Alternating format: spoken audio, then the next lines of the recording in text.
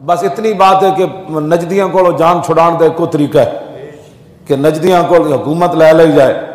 और इन्होंने ट्रंप न इतने अरबा डालर के तोहफे जोड़े दिते ना इस वास्ते दिते सन कि साढ़े हालात कब्जे तो बहर हो रहे हैं तुम साढ़े सिर से हाथ रखना है जो कोई मुश्किल आएगी। असी रसूल की हर चीज़, जनाब ये इन्होंने हजूर के गुंबद शरीफ के बारे भी इन्होंने खतर बहुत गंदे अजायम हैं ये तो पी एच डी भी हो चुकी नजदी मौलिया की मदीना यूनिवर्सिटी कि यह शिरक का ज़रिया है ਇਹਨੂੰ ਕਿਸੇ ਤਰੀਕੇ ਮੁੰਤਕਿਲ ਕਰ ਦਿੱਤਾ ਜਾਏ ਜੰਨਤੁਲ ਬਕੀ ਹਾਂ ਇਹ ਤੇ ਇਸ ਤੇ ਤਾਕੀਕ ਕਰ ਚੁੱਕੇ ਨੇ ਇਹ ਕਿਹੜਾ ਕੋਈ ਇਹਨਾਂ ਨੂੰ ਕਿਸੇ ਰੋਕਣਾ ਹੈ ਇਹ ਤੇ ਅੱਲਾ ਦਾ ਆਪਣਾ ਜਿਹੜਾ ਫਜ਼ਲ ਹੈ ਕਿ ਇਹ ਰੁਕੇ ਹੋਏ ਵਰਨਾ ਕਿਹੜਾ ਪਾਕ ਦੁਨੀਆ ਵਿੱਚ ਕਿਹੜਾ ਮੁਸਲਮਾਨ ਮੁਲਕ ਹੈ ਜਿਹੜਾ ਇਹਨਾਂ ਨੂੰ ਜਾ ਕਵੇਗਾ ਉਹ ਹੁੰਡੇ ਹੋ ਇਸ ਤੋਂ ਵੱਡੀ ਕੋਈ ਗੁੰਡਾਗਰਦੀ ਹੈ ਕਿ ਆਜ਼ਾਦਾਨਾ ਤੌਰ ਤੇ ਹਜ਼ੂਰ ਨੂੰ ਸਲਾਮ ਵੀ ਨਹੀਂ ਪੇਸ਼ ਕਰਨ ਦਿੰਦੇ ਬੰਦਾ 4-5 ਲੱਖ ਰੁਪਏ ਲਾ ਕੇ ਜਾਂਦਾ ਤੇ ਅੱਗੋਂ ਆਵਾਜ਼ ਕੀ ਆਦੀ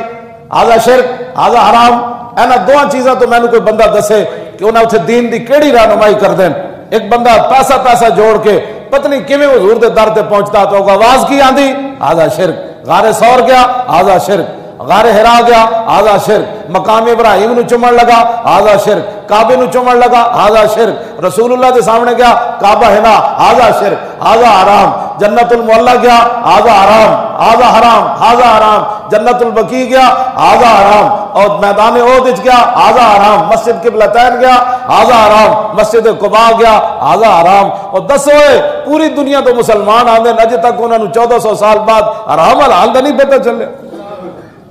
तुम नवे मौलवी जमे हो, यहूदो नसारा दी एजेंटियाँ करने वास्ते कि मुसलमान चार लाख, पाँच लाख रुपया ला के जाता है। अगो आवाज़ की आंदी, तू तो मुशरक है। ਤੈਨੂੰ ਤਾਂ ਜੇ ਦੀਨ ਦਾ ਪਤਾ ਹੀ ਕੋਈ ਨਹੀਂ ਚੱਲੇ ਤੂੰ ਹਜ਼ੂਰ ਦੇ ਸਾਹਮਣੇ ਹੱਥ ਚੁੱਕੀ ਫਿਰਦਾ ये सूरत हाल इस आपको भी इन चीज़ों का गर्ज नहीं है किसी को भी गर्ज नहीं है हाँ बस पेट चल जाए ओ उत्थे जनाब मैं मैं हजूर हज गया मैं अराफात के मैदान अगे चला गया मैं मुड़ के आया तो गोडे गोडे जितने वो डब्बे पै सन रोटियां वाले इतनी रोटी खाते उन्होंने उस दिन वो दावत कर देन वो तो वह दावत कर देन तो पाकिस्तानी रोटियाँ इंज उठ उठ के पाँदे उत्थे भी मैं अरफात वेख्या रोटियाँ पिछी ये बज रहे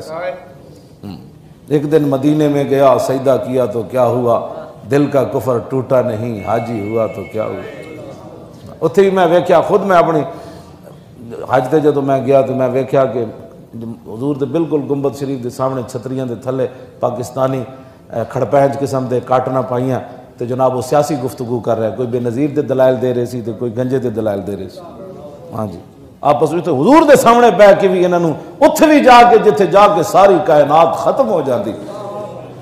जिथे मौलाना न्याजी तुर्रा बन के ना तुम पता है न्याजी साहब का तुर्रा भी बड़ा व्डा सी जनाब वो कद भी बड़ा व्डा सी सोने भी सन तो जनाब तुर्रा बन के इंज इंज चलते भी बड़े खोडे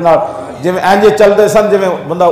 ऊंचाई तो नी, नीचे उतर रहा हो ये मेरे आको मौला दे, यही सुन्नत तरीका है कि बंदा इस तरीके चले। मैं मौलाना न्याजी मौलवी पीर वेख्या कि चलन की कोशिश करते सन जिमें रसूलुल्लाह चलते सन। कान नमा यम हत्तो मिन सबब हदीस पाक के अंदर यही है, मौलाना न्याजी ऐसे जो खूंडा आके इंज इंज जो चले, बाबू सलाम तो दाखिल होए और हजूर के सामने सलाम पेश कर चले तो अगो एक बंदा आ गया कह लगा, ओ मौलाना, हजूर के सामने एडा तुर्रा कट के जनाब एडे कलफ लाए, हजूर के सामने जाना है। इतने तो बड़े बड़े आंकड़ा टुट जा तू एडा तुरा कट के हजूर के सामने जाना है। तो मौलाना ने तारीखी जुमला फरमाया फरमाया, पिछे हट। जब न्याजी का तुर्रा सिर झुकेगा तुर्रा भी झुक जाएगा।